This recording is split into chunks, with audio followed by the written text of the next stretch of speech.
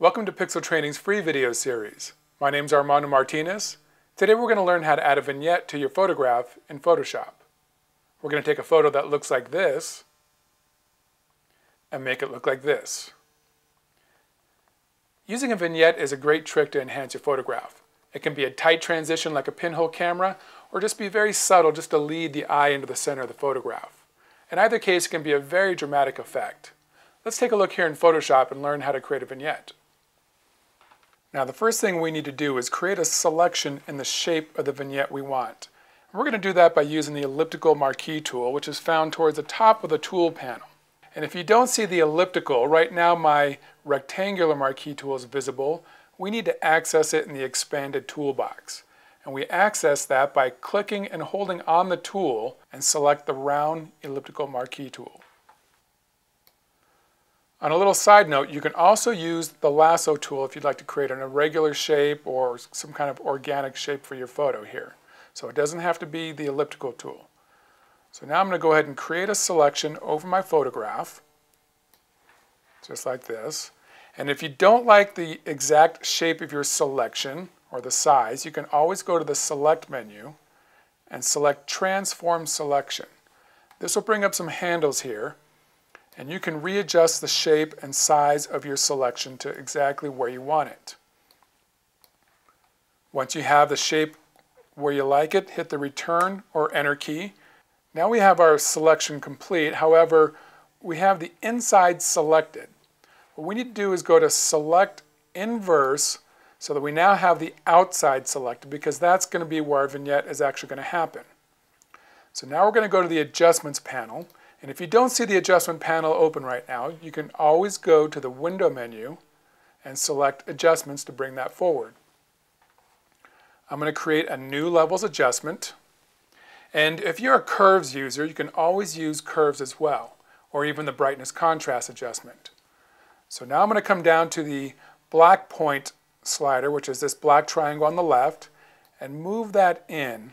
And as I slide that to the right, you can see I'm starting to darken my photo. Just adjust that to where you like.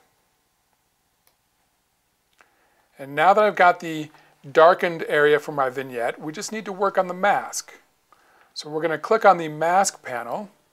And if you don't have that open right now, you can also find that in the window menu under masks. Now in the mask panel, we're going to go down to the second slider to the feather slider. And I'm going to drag this to the right until I get the look of the vignette I want. If you want a tighter vignette, you go lower in the numbers, and a higher vignette goes higher. Now one thing to note is that this feather slider is resolution dependent. If you're working on a very high-res photo, you're going to have to go much higher in the feather amount. For this photo here, this is kind of a medium to low-res photo, so I don't have to go too high. So just adjust this to where you like. And that's our vignette effect added to our photograph. Now as a little bonus, you could create a secondary vignette on top of this. I'm going to do that with the lasso tool this time to kind of create a more organic shape. And I'm just going to go ahead and draw kind of a shape here. It's kind of more closer to the edge of the photo. And again, if this shape is not perfect, I can readjust that with the transform selection. And maybe I want to move this just a little to the outside because this is going to be a much darker effect and it's going to be a harder transition. So I'm going to go ahead and hit the return or enter key. I'm then going to go to the select menu and invert my selection. Go back to my adjustments, create a new levels adjustment and bring my black point slider. And there you can see my darker first vignette closer to the edge of the photo. Now I'm going to go to my mask panel again, take my feather slider, and for this one here, I'm going to do a little bit tighter transition. Maybe about there. And I can always go back to my levels and readjust this black point slider, get it to just where I want. Select the first one as well, and maybe I want to adjust that one too. And there's our vignette effect added to our photograph.